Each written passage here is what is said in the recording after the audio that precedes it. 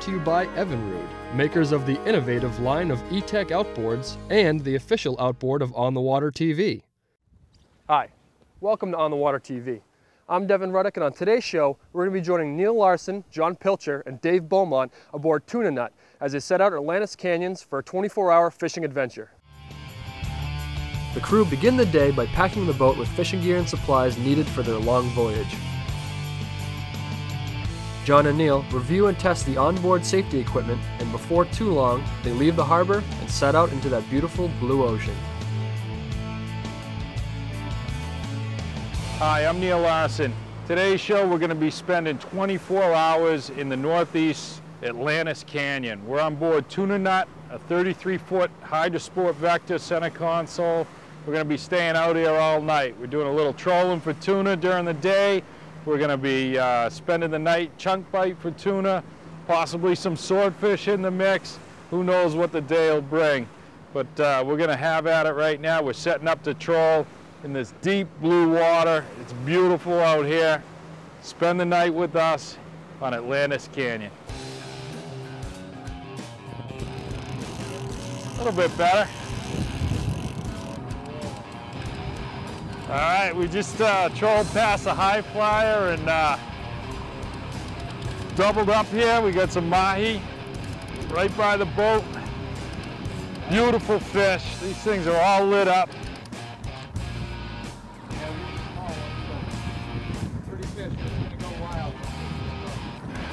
Just give you a little view of what we got here. Some nice mahi mahi. Look at the colors on this fish. Absolutely gorgeous.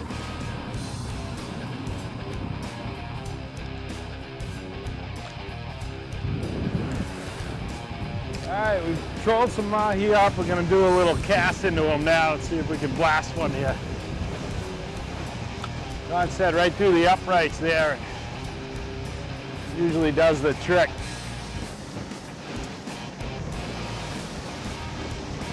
There we go.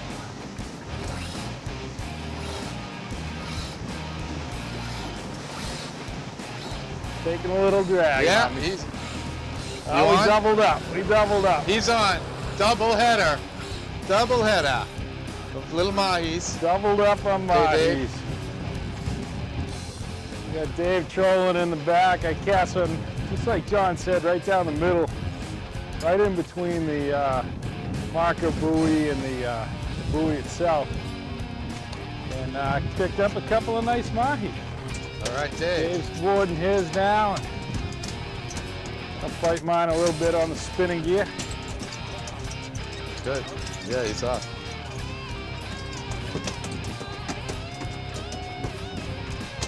These fish are a lot of fun.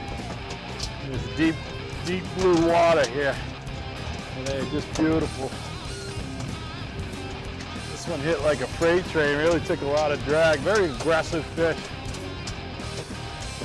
He's staying down a little bit. See, we got a lot of weed in the water too. Dave's gonna, All uh, right, Dave, get him. there we go. There you go. Two for two on that one. Nice job, guys. He's a great eating fish, mahi mahi. Beautiful fish as well as good eating, and uh, we're gonna take some for the table. Well, All right, we'll get them in the box and uh, we'll get trolling again. Watching On the Water TV. All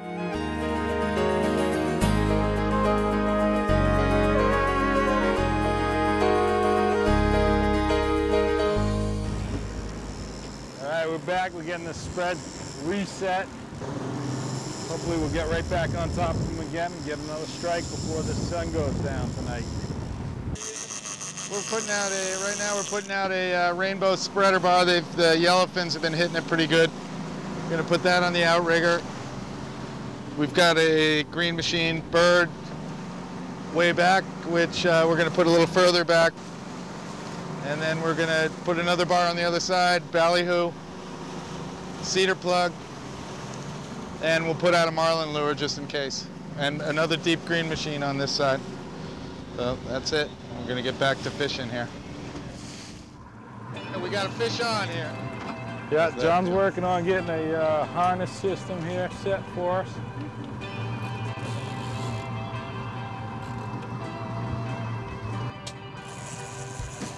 All right, Dave, well, we uh, moved over, heard some uh, action happening over on the uh, northwest corner of the canyon. So uh, we trolled over this way. Lo and behold, uh, we hooked up. It's been tough fishing today, a lot of weed in the water, but uh, we're on here with hopefully a nice yellowfin. We'll see what we'll see what we got on the end of the line here. How's it feel, Dave?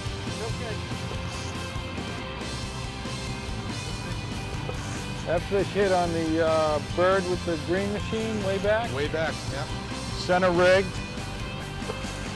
Dave's got the braid harness on. He's letting the rod do the work. John's just got the boat in gear and uh, keeping us moving, keeping some tension on the fish. And uh, fighting this fish from the port corner. You'll notice as we get closer, uh, we'll keep that fish right off the port corner. With the, John will keep the boat with a little quarter turn, right, John? That's right.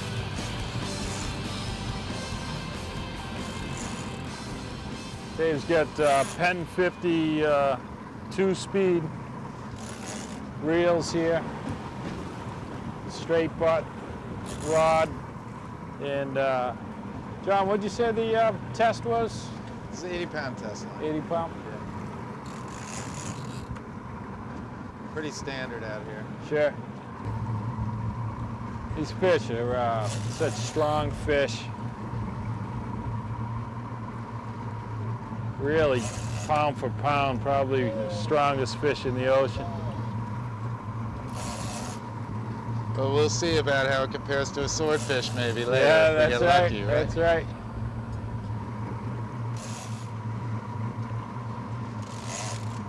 Uh, John, do you want to make a determination on the uh, whether to take this fish or uh, are we gonna are we gonna gaff that fish if this fish or? Uh... Yeah, let's see what it looks like. Okay.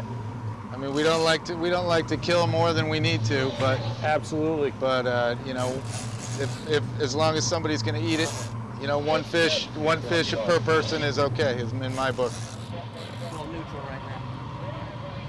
So we're in uh, about hour number nine here on the 24 hours uh, out at the canyon. So uh, that was the magic hour, I think. We're, we're at about 5 p.m. I think we left the dock around 9 a.m. this morning. So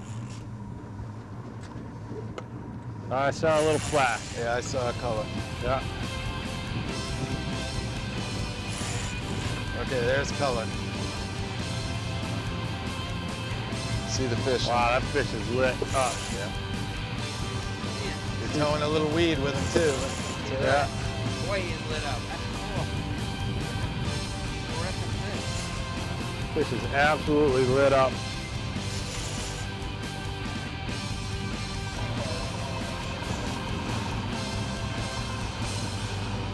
Don't touch above. Just grab. You can. You, if you can grab that, wrap it once. It's an albacore. Oh, nice fish. Oh, beautiful. Yep. Good, Willie. Okay, here he comes. Oh, beautiful fish. That's a big one. Got it. All right. There he is. There he is. It's dinner. First fish of the first uh, tuna of the day aboard Tuna Nut. It's our insider Dave Beaumont. You're watching On the Water TV.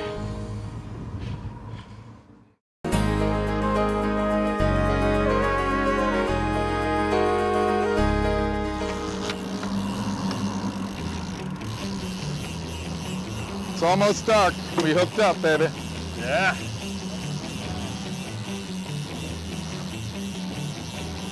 All right, that sun just went down. It's getting dark out here. We're at about hour uh, 11 or 12, I'm not quite sure. But uh, we got a couple of fish Okay. on, It's good. and uh, we're just clearing the lines here. Let's see what we got.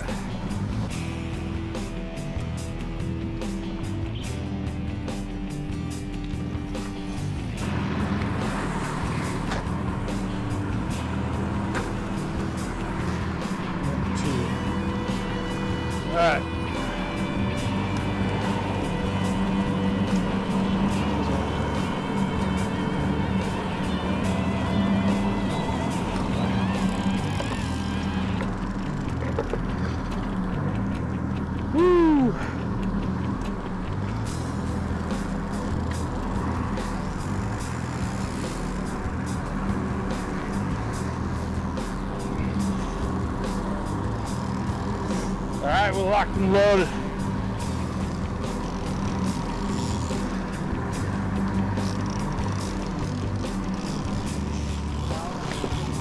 We worked out the kinks, we got the lines cleared. This fish is coming right at me right now. Making some line, uh, making up some line. Yeah, you want to, let's keep them off this corner. We're gonna fight them uh, port corner, John. Well, which one do you want? You make the call. Let's He's do it on this right side. middle so let's right do it on this side. All right. But I want, but here's what I want you to be very conservative with turning. Okay. All right. He's, he's pretty close here.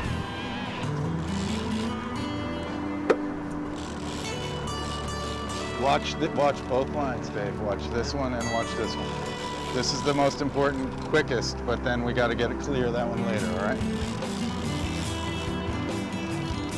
Right. You okay? Oh yeah, I'm just using the legs right now. Almost straight up and down on. Right here. Come on up. There's, There's some color. flash. There's There's color. some color. So Dave, wait. As soon as we get color looking close, you're gonna grab the gaff. Okay. All right. He ate the ballyhoo. Let's wait till he's circling. He's he's a yellowfin. Wait till he's wait. Just give it give it a minute. Gaff him. All right. Good. All right, nice job, fellas. Nice job. Let's get him in. There we go. There's fish number one. That's an albacore, a true albacore. The white meat tuna, chicken of the sea. Nice Nice. job, Neal. All right. All right. Thanks.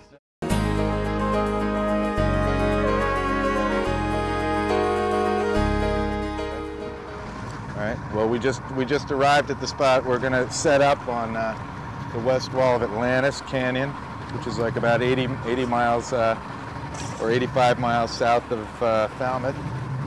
And what we're gonna do is first, before we start drifting, trying to trying to catch a swordfish or at least some tuna, um, I'm gonna put out this parachute anchor. It's like a drift anchor, a 12 foot anchor. And we're gonna we're gonna set it out. We're gonna check what our drift is, and uh, on tracking it on the GPS. And then once we've established our drift, then we're gonna reset up, pull the anchor in, and set up where we want to fish for the night. So. All right. Well, this is how we're rigging up the uh, the sword rigs. This is a squid caught in Falmouth this spring, in May, and uh, frozen quickly and vacuum sealed. And what I'm doing is I'm taking a taking a 12 odd offshore hook. Other people use circle hooks, smaller hooks, lighter line, but this is 300 pound test. And what I'm doing is I've already run one side of this rig, the leader up through the center of the squid, and then I'm taking a second tag end and I'm poking it out about three quarters of an inch away from the end so that it's going to form a V like this. There's my needle, and I pull that through like that, and it acts as a stopper. So what I do is I pull this up like so, and that's as far as the hook can go, and then I pass it through the head of the squid and it makes for a very stealthy presentation that swims beautifully. You can hardly see the hook in there at all. And then you clip the tag end off and that's it. Like so. So that's the finished squid rig right there. So if it catches a swordfish, we did our job. So there's lots of ways to do this. Um, you know, don't criticize me for having the way that I've I was taught. But we, we got the squid. You might have saw how it was rigged with a 12-0 hidden uh, offshore hook inside. What I do first, I've got it attached to the line. And what I do is I let it out. I have a couple of floss loops put in the line. First one is here, and it puts my, my light, my Electralume light, which is right here, allows me to attach it with a long line clip. onto the line without damaging the line. Send that down. Another about 10 feet away from there, I attach my weight. This rod is set for 225 feet. It's one of the deeper rods. Um, I also do them at, at uh, 100 feet, 150 feet. And uh, sometimes I'll throw one shallower. This one has another floss marker. I let the line down fairly slow, but has another marker at 200 feet. So when I get there, we'll throw the balloon on, which has a light stick so we can see it drift away from the boat. Put, put a little drag. Up to strike, that's it. Up, up to strike. We got plenty of line.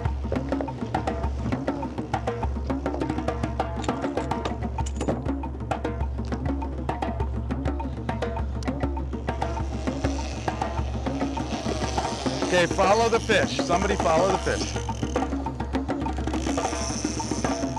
We're in a Sargasso weed mat.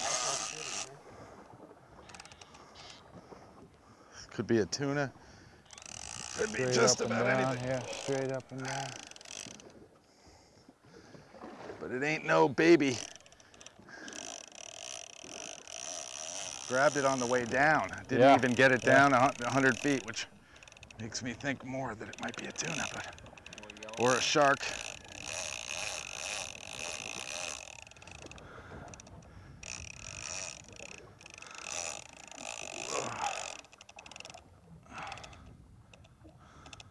It hit it when you put it in the first time and the second time, didn't it? Yeah.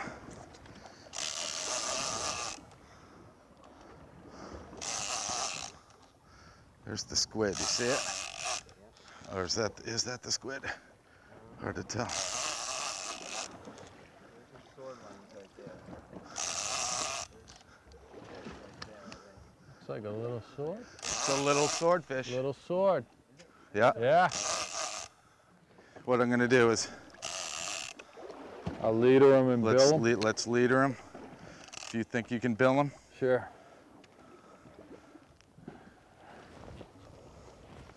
Give it a try. Keep his head out of the water.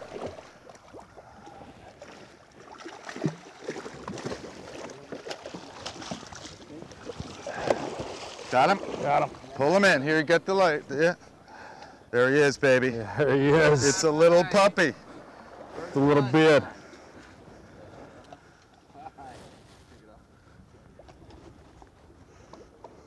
All right, we gotta get a tape on him. Yeah, we'll get a tape on him. I don't think he's quite big enough, but Yeah. he's a swordfish. Look at that, huh? All right. We're on hour about 15 or 16 here. I lost track, and uh, we got the night bite out here in Atlantis Canyon on the tuna nut. Tuna nut's turning into a sword nut. We're gonna get a tape on this guy. Why don't we lay him down? He's got a little uh, soft tip on it. It's gonna be short, I can tell you already, but not by much. Here, you hold that right at the fork. Yeah, he's 39 inches at the fork and the lower jaw, so we're gonna have to release him. Neal, why don't you do the honors? I will. What's that? All right.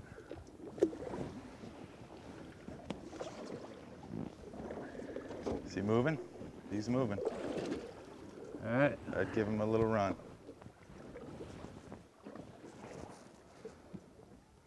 Ah, what a cool fish. There he goes. He's slowly swimming away. Look at the power in that tail. It's incredible. For a little little sword like that, you can just feel that power and thickness in that tail. What an exciting night here in the canyons. 24 hours out here. The sun's coming up over my shoulder. It's time to head for the barn. And I uh, hope you enjoyed today's show. Got some uh, albacore tuna. We got that beautiful little puppy swordfish. Just a great night. Thanks for watching today's show. Wow, what an amazing full 24 hours of fishing out at Atlantis Canyon. If you'd like to learn more about today's show, log on to onthewater.com. And from all of us here at On the Water, thanks for tuning in. On the Water TV is brought to you by Evinrude, makers of the innovative line of E-TEC outboards and the official outboard of On the Water TV.